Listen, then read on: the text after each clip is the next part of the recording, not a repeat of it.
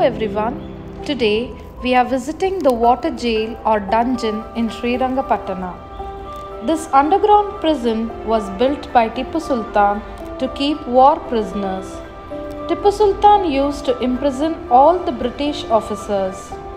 One British officer died in this prison during his sentence, so it is named after him Bailey's Dungeon. The dungeon is about 30 meters into 12 meters. There are shoulder height stones fixed inside the prison of different heights. Prisoners were chained to these stone slabs, and cold water is filled inside the jail up to the chin height, so prisoners could basically never sleep. This was to torture the prisoners, but today it is a famous tourist spot.